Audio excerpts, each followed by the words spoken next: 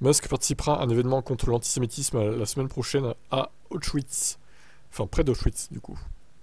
Ce sera à Cracovie en Pologne, à quelques minutes seulement des terres de l'ancien camp de concentration. Il devrait être là lundi pour une discussion avec Ben Shapiro, un conservateur. Musk est en Israël depuis le début du conflit majeur entre le Hamas et Israël. Depuis octobre, il s'est rendu dans les zones ravagées par le conflit qui ont fait l'actualité depuis l'attaque.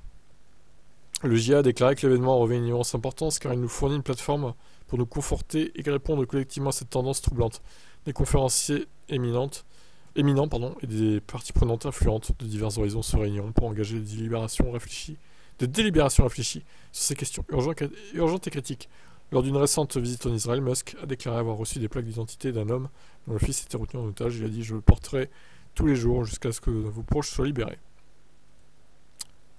Bon, euh, là, il est vraiment très très pro-Israël, hein, Elon Musk. Il s'en cache pas. Bon, après, euh, voilà. Hein. Chacun son avis sur la question. Moi, je dirais que les deux camps ont des, ont des choses à se reprocher.